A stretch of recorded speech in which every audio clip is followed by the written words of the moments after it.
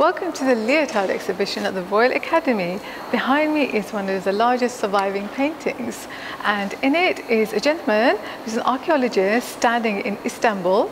Uh, he's got a shaved head but you can't really tell because he's wearing a turban which is quite interesting. Okay, so over to the curator.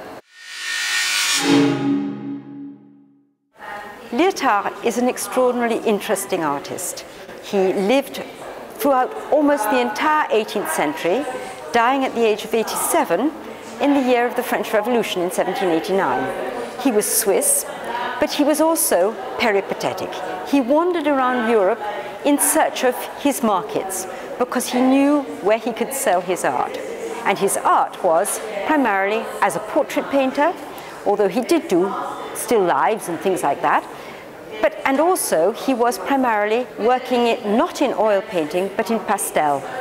And so what you have in the exhibition is an incredible assemblage of portraits which give you a cross-section of European society from the 1720s right the way through to the 1780s.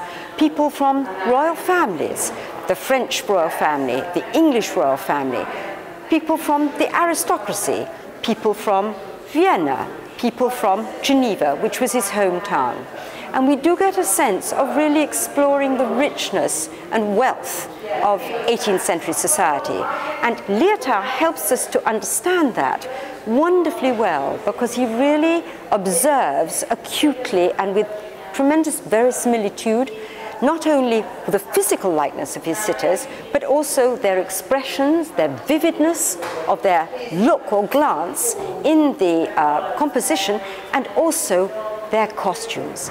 And we have here in glorious colors of blues, yellows, reds, greens, costumes made out of satin, silk, lace, uh, brocade, velvet, fur trims where you feel that you can immediately identify exactly the texture, the feel of these fabrics out of which these beautiful clothes are made. It really is a revelation and it's such a wonderful journey into a period which maybe we've forgotten a little about.